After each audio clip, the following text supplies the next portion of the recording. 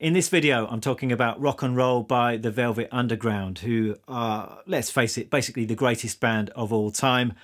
And despite being a huge fan, I think I've only looked at a couple of Velvet's tracks on this channel up to this point. So I thought it was about time that I looked at another one. And I've gone for Rock and Roll just because I was listening to it the other day. It's obviously a fantastic song, but I think there's a little bit more to it than you might imagine in terms of the guitar parts and I've made some new discoveries. Some new shit has come to light, as the dude might say. So I'm going to be sharing those discoveries with you today, but let me start by playing a bit of the song for you.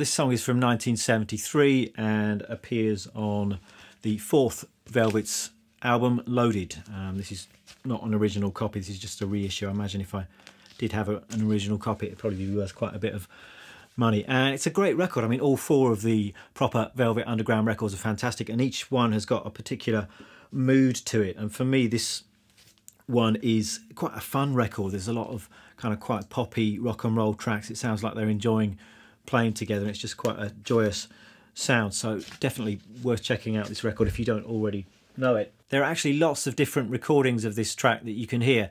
If you go on Spotify or on YouTube, you can check most of them out there. And it seems to have been a song that was around since the early days of the Velvet Underground. There's a 1969 live version that you can hear. There's a demo. There are various alternate mixes and edits and then lots of other live versions. And Lou Reed seems to have kept it in his live sets for much of his solo career as well. So quite interesting to check all of those out. Though in this video, I'm going to be focusing on the main studio recording that's on the loaded record. So let's get down to business. Let's begin by discussing the rhythm guitar parts. And if you want to do this the easy way, you can just bash it all out with quite simple bar chords. And this is exactly what Lou Reed does in many of the live performances that I've seen. And we're in the key of C, and he's just playing six string root C major bar chord, down two frets to a B flat,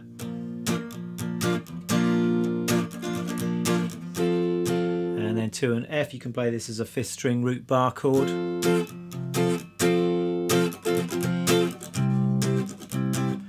And then back to C again. It's a very common chord progression. You've got the one chord, flat seven, the four, and then back to the one. So it's similar to Sympathy for the Devil or Hey Jude. You hear this kind of chord progression all over the place. And just playing it in this simple way kind of works pretty well.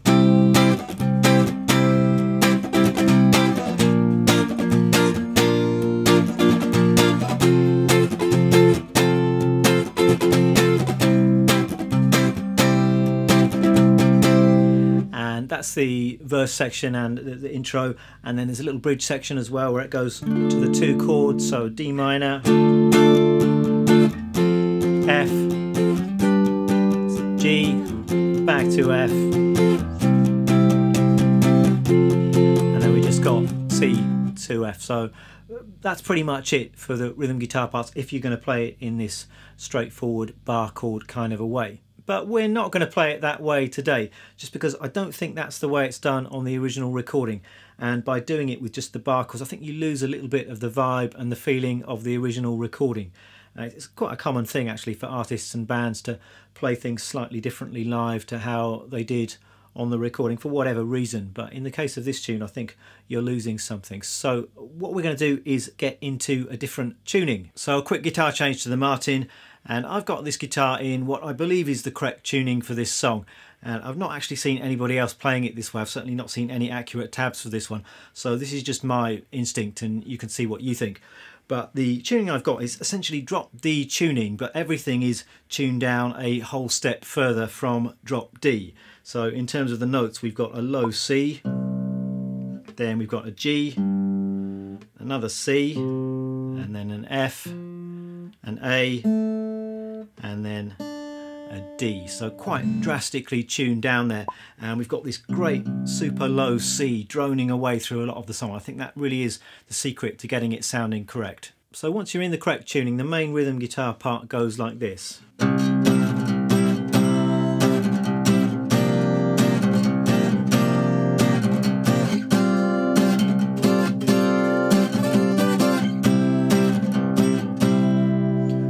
Got this great low C droning away through most of that. And we're starting off with this bar chord here. It looks like a D major bar chord at the fifth fret, but we're sounding as a C chord because we're tuned down. So we're playing that. And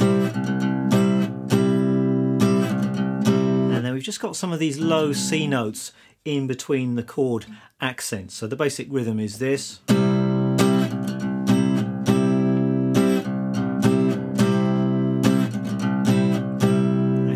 Important to set up that rhythm, I think, and we're just squeezing down those chordal accents. So it's one and two and three and four and one and two and three and four. So we've got some syncopation there. We've got the and of three and the and of four that are emphasized. One and two and three and four.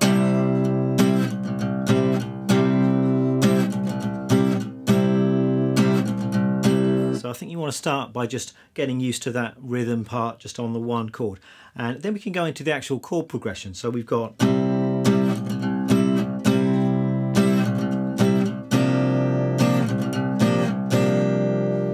this is the first of several quite unusual sounding chords. We're really just lifting up the third finger from that bar chord and we've just got the first finger flattened down across five strings here but again with that low C droning out quite a jazzy sound. It's really a, I suppose it's a B flat over C kind of a sound, a C11 or C sus sound. So really quite an unusual sound for this kind of song.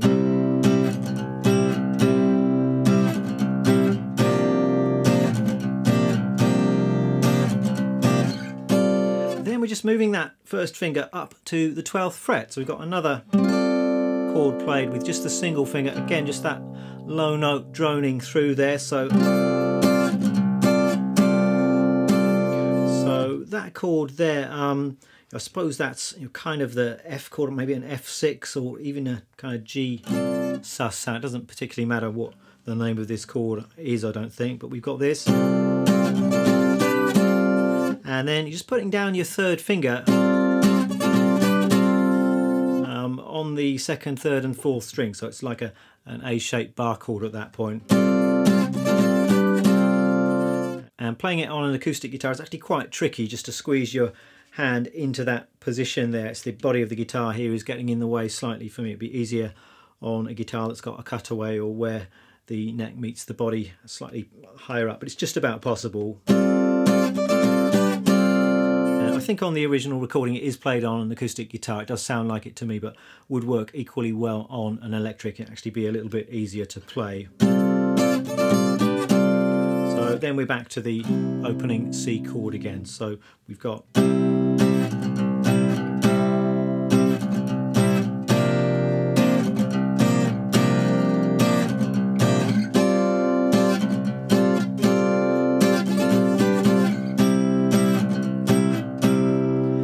notice how we're pushing into lots of those chord changes. So changing to the new chord on the and of four. One, two, three, and four, and. two, three, and four, and.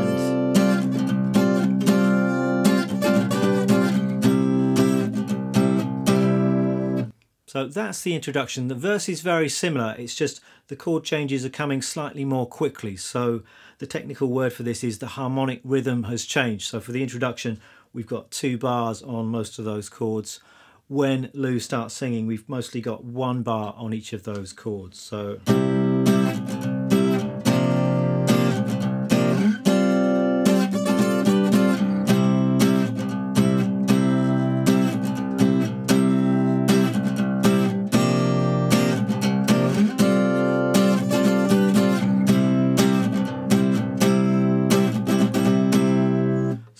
That's the introduction and the verse. Then we've got a little bridge section, and that's quite straightforward. I'm hearing it as something like this.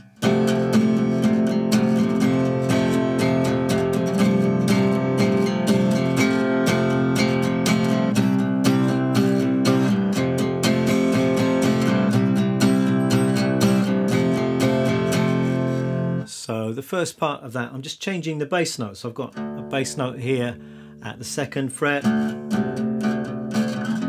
fifth fret, seventh, back to the fifth. I'm muting the fifth string just by leaning into it, and then the rest of the strings I've got as open.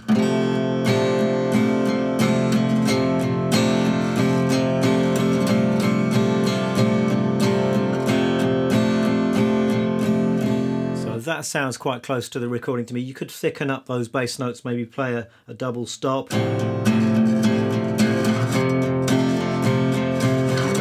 Or even a triple stop. Uh,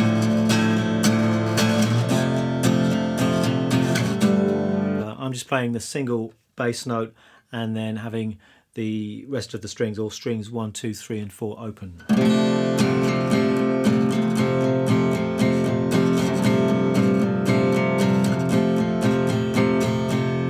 For the it was all right bit, I'm going back to my C chord. And then to this chord here, so fifth fret bass note, and then the open strings.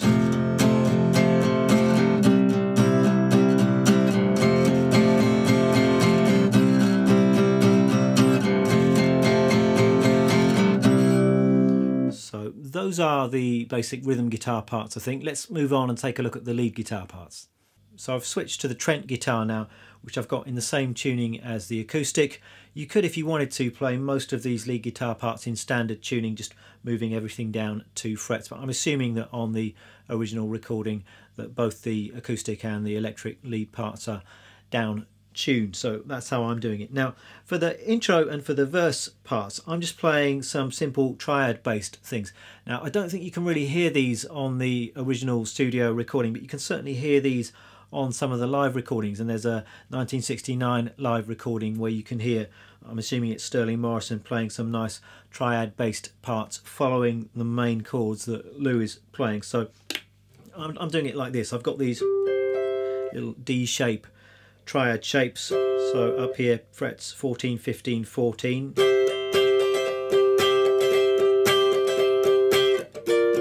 moving that down two frets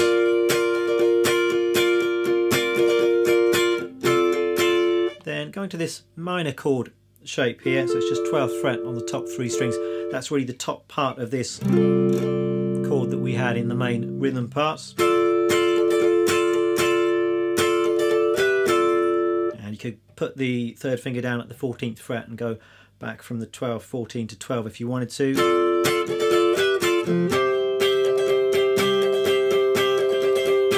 So that's a nice simple triad based part which works perfectly with the main rhythm part.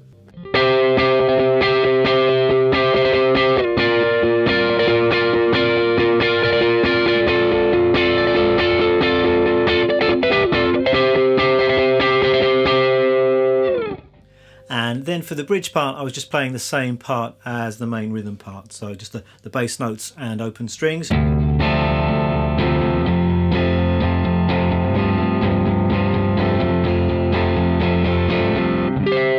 Back to the triads.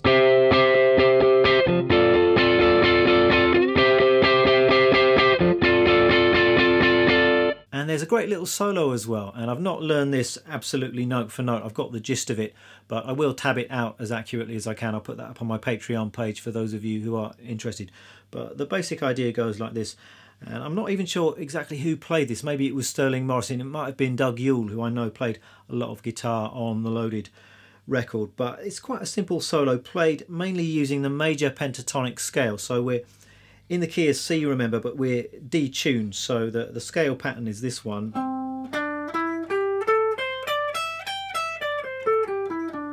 So it's looking like a D major pentatonic, but it's sounding as a C major pentatonic.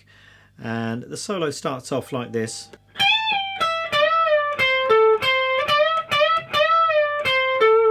So just simple pentatonic bass stuff, got some bends at the 17th fret on the top two strings.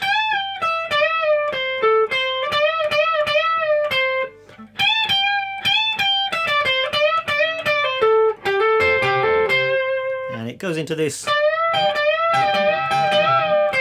kind of very common classic rock kind of phrase.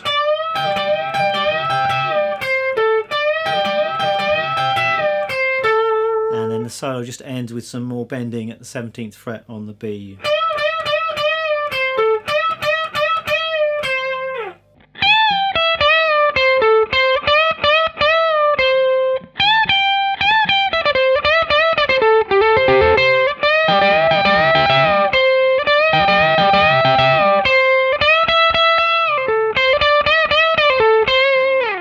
So that's loosely how the solo goes.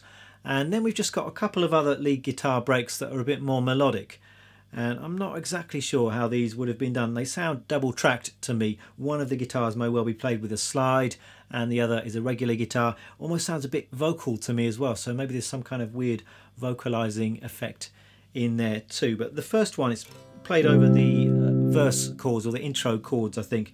And the melody is this.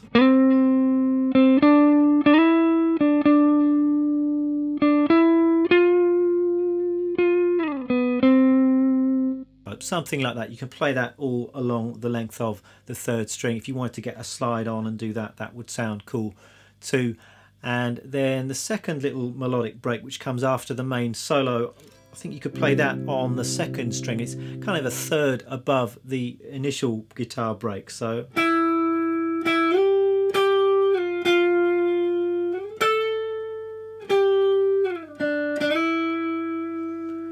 Quite straightforward, but nice and catchy and melodic. And I almost forgot to show you one of my favourite parts of the whole song, which is the lead guitar lick that you can hear in the breakdown section.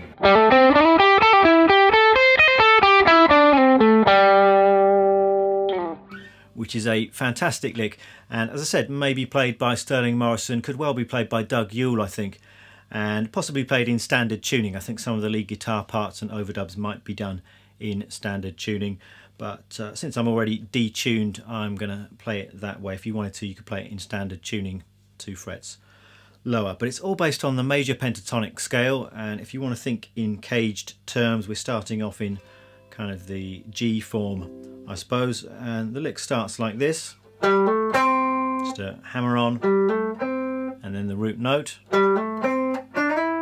Then we're sliding up into the next position and then we've got some licks played out of this little box shape here. over onto the top string. And we've got one note here which doesn't belong to the major pentatonic scale, this note at the 13th fret, but that's actually the minor third, so that's giving the whole lick a bit of a bluesy quality. And then we're just coming down the scale. So the whole lick slowly. And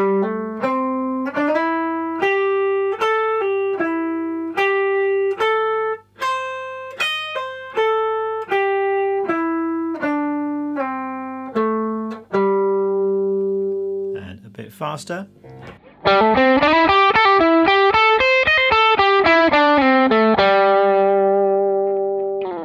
Let me give you a quick rundown of the gear that I'm using today. For the acoustic parts, I'm using my Martin 0015M. I've got that down tuned. It does sound great in this deep tuning and I've still got these really old strings on it and though I like the sound of old strings on acoustic guitars these are definitely overdue for a change. So I'll try and sort that out before my next acoustic video. And then for the electric parts, I'm using my Trent Model 1 and I recently did a full length demo video on this guitar so if you're interested in finding out a bit more about this guitar then check out that video. Amp I'm using today is my Vox AC30 and I'm using an overdrive pedal as well that's the J Rockett Archer. That's it for this video. I will be tabbing some of this stuff out and I'll put that up on my Patreon page for those of you who are interested. And the other Velvet song I've looked at on this channel is Pale Blue Eyes. I did a two-part lesson on that quite a while back. So you might want to check that out if you've not already seen it. Thanks for watching. I'll see you next time.